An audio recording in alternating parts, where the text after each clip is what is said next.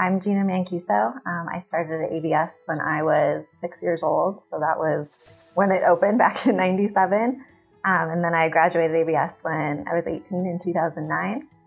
And then I went on to Red Rocks after that. I wasn't exactly sure what I wanted to do after AVS, so that was kind of the, the next step I decided to take to kind of try some classes out, see if anything stuck. Um, and then after going there for a while, my dad was like, well, why don't you try a programming class? And I was like, okay, I guess I could try a programming class. Like at that point, nothing else had really jumped out at me or anything. So I took it and I liked it. And I was like, okay, this seems like a good, a good path to go down. I'm, I'm pretty confident I can get a job in this, this career field. So I transferred to Metro and I got a computer science degree from Metro State in 2017. I remember it was, it was small at that point. There was, I think they said 12 students when we started out.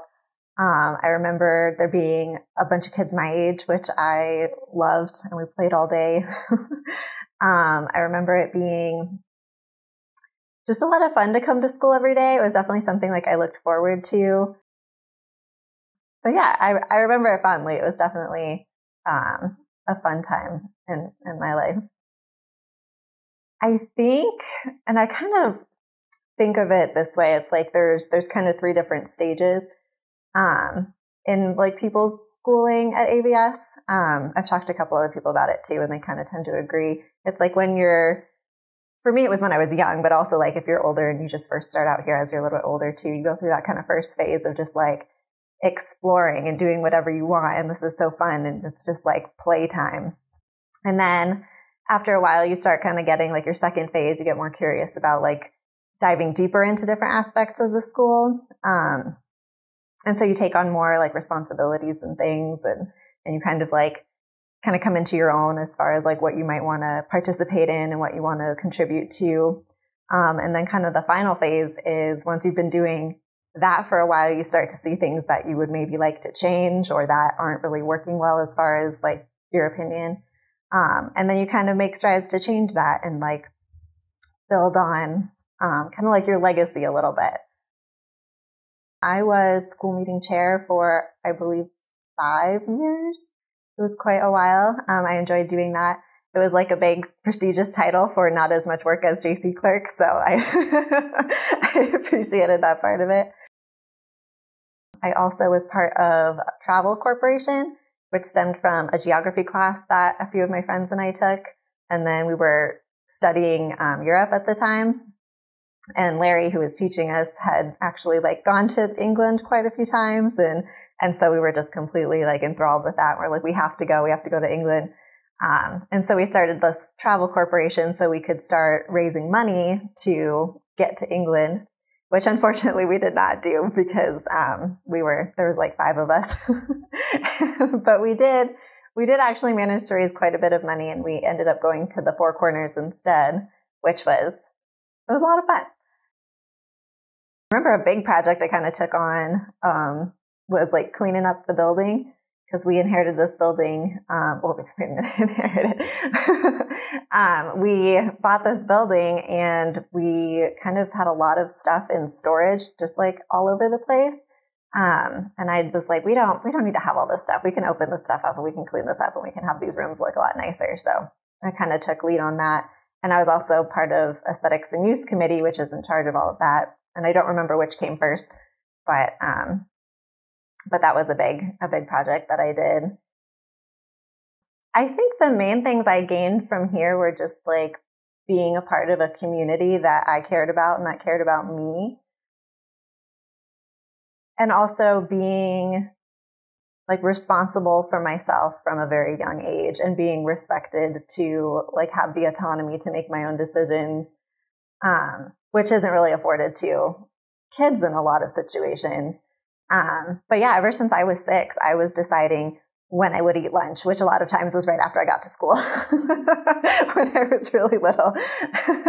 and when I would go outside and play and when I needed to rest and when I could use the bathroom. And that was like, and like what I wanted to learn and who I wanted to learn it from and with. And um, when I needed breaks and when I was ready to like come back to things and, and when I was done with them. Like if I decided I wasn't ready to, or if when I wasn't interested in different things anymore, I was able to just let those go and move on to, to new things. And so while I never found like a passion that I would say was like driving me career wise, um, I did try a lot of different stuff and I learned a lot of different things from it. Immediately after graduation, I went to Red Rocks Community College. So I took that admissions test to get in, um, which I believe was three parts. I think there were two parts English and then a math. And I was very nervous about that because since I had gone to AVS since I was six, I didn't really know how well I would like stack up in like a public traditional school setting. Um, but I did fine. Like I, I, I scored well enough to get right into um, like college level English, and I was just one level below the math. After coming from AVS, when I was making all of my own decisions about what I would learn and how I would learn and how often and, and like all the different, I was in charge of like all of it basically. Um, it was a lot easier to have someone else tell you like, okay, these are the, the times the class is going to be. Here's the lesson plan for each day. Here's what I need you to do for each thing. Here's how you do each of those things. Um, so it was not difficult. Um, and I also had the advantage of seeing adults and professors and teachers as equal. And so I did not have kind of that barrier that I feel like some kids have for like talking to teachers and asking them for help.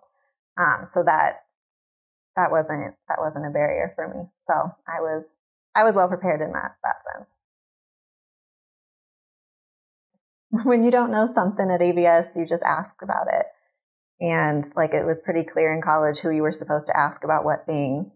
And then once you kind of have that um, path that you're going on, then it's then it's pretty easy to get back on back on track with stuff. So yeah, no, I never really felt like I was out of my my depth or anything. College is it's a lot of work, but it's also very doable. Like it's it's it's broken down in ways that like step by step plans that are that are easy to follow even if like the work is hard.